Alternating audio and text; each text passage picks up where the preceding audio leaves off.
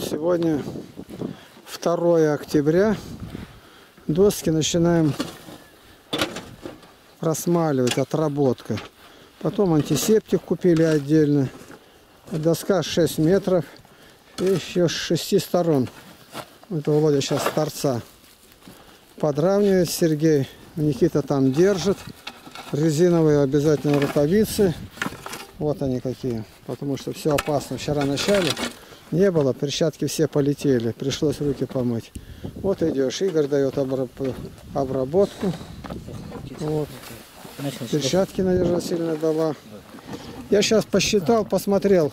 Надо нам перекрасить вот это вот а примерно. Сейчас. Вообще удивительно много. 400 квадратных метров почти. Ну это можно представить себе, что это такое. 400 квадратных метров. Это 100 метров длиной и 4 шириной. 100. Это вот все, это надо натирать, натирать и натирать. Так, отодвиньте их в сторонку. Вон ту из-под них вы выбери, Володя, которая лежит. Лага маленькая. Никита, не прижимайся только. Вытащи ее и отодвиньте с того с конца. Сергей там привязывает. Вот забиваем арматуру по метру. Вот она как получается наискосок к лаге. К лаге наискосок вот так. Вот так. Где там что привязывать? Вот отработка работает. И специальная вязальная есть проволока. Хочу показать, что это такое. Вот. Это вот у нас проволока, вот она арматура горячекатанная периодическая. И долго тоже спрашивали, как вот лага лежит. К лаге снаружи вот так наклонно должна быть. И вторая с той стороны. Ну и потом проволока у нас вязальная. Павел дал, вот она. Я ножом этим по железу, который отрезаю, переламываю. И Сергей вот перевязывает. Я покажу, как это. Видите, заматывает за ту, за другую. Крупным планом, не знаю, можно понять или нет. Чтобы вода весной не оторвала, не, по, не пострадала. Сережа, быстренько те две заматывай. А, Никита, отодвиньте, отодвиньте, занимайтесь скорее этими. Отодвиньте вот эти три, чтобы Сергей мог там завязкой а заниматься. Все, мне, мне нормально. Вот эти, сдвинься маленько. Мне нормально. Ну все, все, все. Вот теперь нормально, давай. Вот они уже забитые. Вот он забил я их э, топором. Это метровые примерно в землю, в грунт выше. И теперь вырвать ее наискосок прямо это практически невозможно. То есть все основательно сделано, но это стихия. Вот дальше тоже, видите, забито. А следующее тут посередке сделали. Посередке. Вот оно посередине как раз. Вот она его видать. Как? Ну и еще. Вот сегодня поехали в Мамонтово наши. Договариваться за песком. Все, вооружились как надо. Начальника нет, уехал куда-то на семинар в город. А бухгалтерии кому там платить? Мамонтово это где-то почти 60 километров. Вернулись ни с чем. Платить за машину. Ну, это и так понятно. Вот. Пятница сегодня, а завтра суббота выходной, воскресенье обещают дождь в понедельник. У нас последняя неделя. Хоть криком кричи, ничего не получается. Вот. Что это? Да у нас Ну, раз, мазилка. размоталось. Да размотал. Давай, перевожи несколько раз ее. Так, Крепче, она слетит все равно. Ее надо гвоздем прибивать.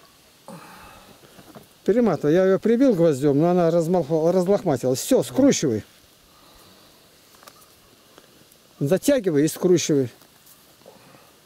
Вот так. Ну, Никита, ты просился мазать, тебе дали мазать. Дал тебе перчатки, чтобы вовнутрь не попала грязь. Это, ну, грязью называю, это обработку-то. К себе не прижиматься. Только повернулся, он уже ползет по доске. Вот так. То есть я говорю, я тебе дам, я не знаю, что делать будешь неправильно, это я точно знаю. Но что именно неправильно, не знаю. Значит, мазилку по земле поволочешь, значит, глина ну, будет, она в глине, ничего не будет промазать. А так и получилось. Второе что-то где-то, но не отчаивайся. Главное, везде он новинку вносит. Такую новинку, что только и думаешь. Бедная юродивая Русь. И главное, юродивых подвиг такой великий. Они добровольно отказались от своего разума. Да пренебрегающий мудрость глупый, глупец. У Бога выше всякой просьбы, это про просение о мудрости. А здесь именно дурость. Василий Блаженный, храм Василия Блаженного. Только скажешь, юродивая Русь. Все проиграли. И национальные герои, это Иван на печке, дурачок, рыба какая-то. Тут все придет какой-то дурак и все нам разрешит. Фу, слово проблема не люблю, но чтобы люди поняли. Никто ничего не разрешит, надо работать. Вот вчера принесли лес. Так, в конечном счете тут я уже не знаю, еще за него заплатил. Вчера еще пришлось платить. 50, видно, уже и с лишним, даже тысяч. За лес. Ну а что сделаешь? Вот эти лаги, вот бруски. Они 10 на 5. По размеру напилили. Вот так, показываю везде где. А вон та лежит пятерка.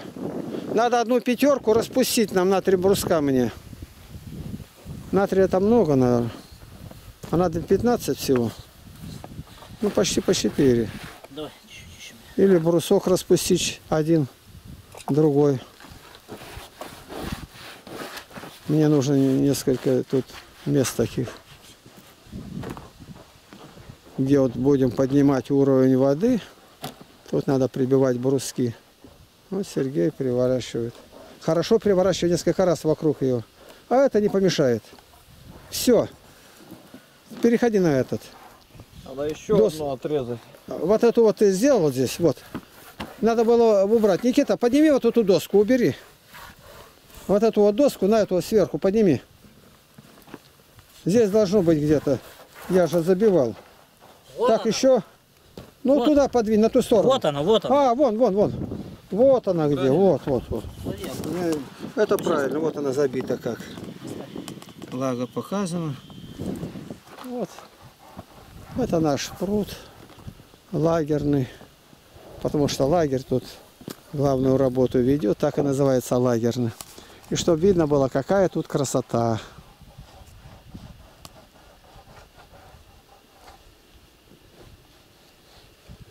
Камыши хороши. Сколько здесь красоты. Вода, как это все благотворно влияет на человека. Вот как. А здесь снимаем. Видео висит, готово. вот на эту сторону, давай. Вот меня спрашивают на опять, ну почему вы не закрываете этот, бунтует там Дудин, священник. Я показываю, допустим, священникам православным, а они глядят, да никакой это не священник, это шпаненок какой-то. Что вы верите-то? Он надел одежду специально. Вы встречались с ним? Нет. А зачем вы говорите, что православные такие священники? Это те, которые служат из его же епархии. А они подтверждают, что не может быть священником такой хулиган. Он рвался к власти, власти упивается. Да разве может сказать верующий? Человек, священник, человеку мирянину властью упивается. А ты чем упиваешься? До 30 лет нельзя ставить священники. Шестой Вселенский собор. Давайте я помажу. 14-15 правил. Дай ему, Володя, пускай мажет. Можно. Давай, Никитушка, старайся. Поближе, чтобы ни одной ошибки у тебя не было, что я тебе предсказал. Ты их сразу все повторил. Давай, на колени не становиться. Понял, нет? Да.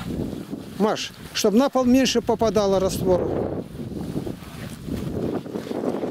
Рвался к власти.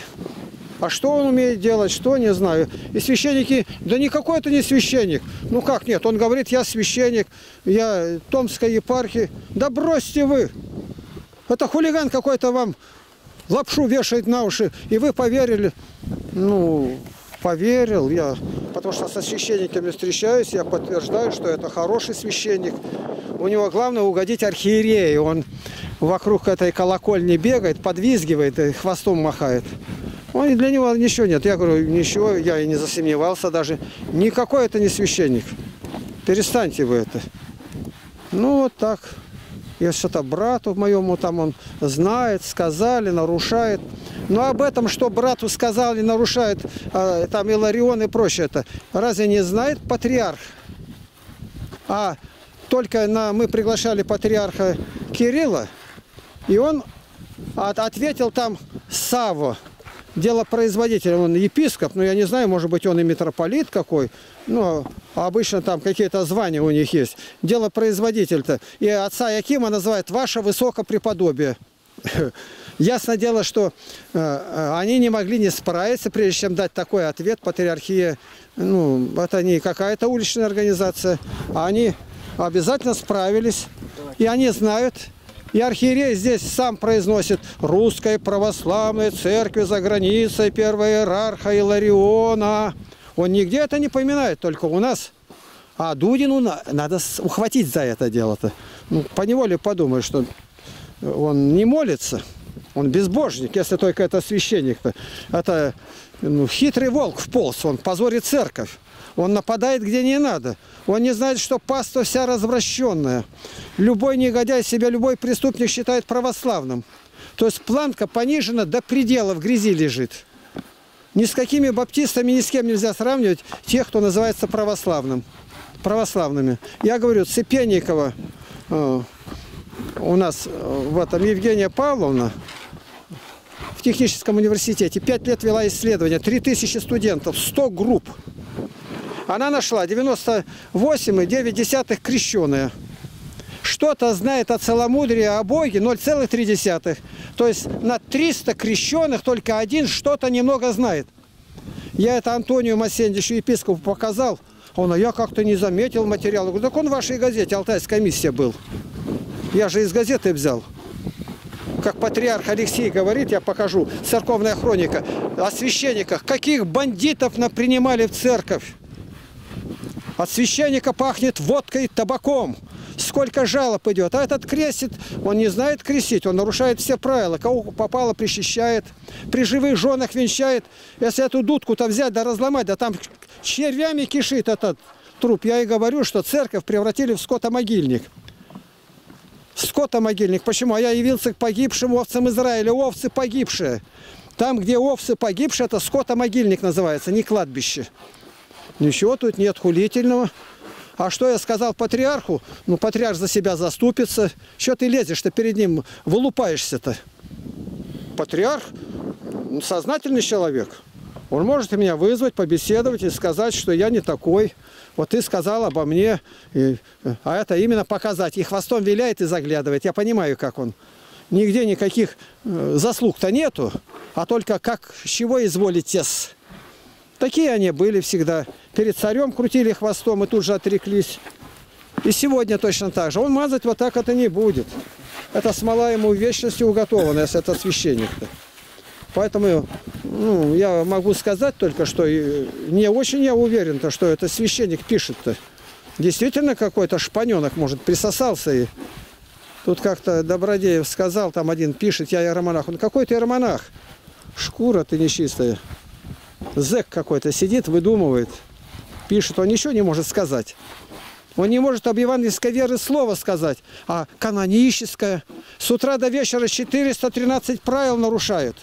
413, вдумайтесь в эту цифру. И торговля, и таинство все извращены. И оглашенные изыдите не выполняются, они не знают, кто оглашенные. Все извращено до беспредела. И ко мне привязываются. А я положил жизнь на то, чтобы каноны исполнялись. А у вас трупов нету, то есть мощей нету. Ну, нету. Нету у меня. Дома они не спят. А в церкви что требуется?